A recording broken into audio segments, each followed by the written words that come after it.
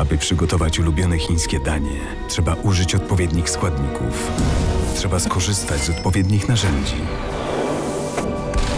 Oraz skrupulatnie trzymać się przepisu.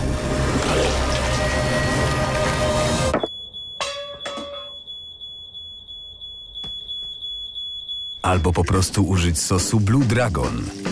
Zawsze, gdy masz ochotę na pyszne chińskie danie. Blue Dragon. Orientalne danie, tak po prostu.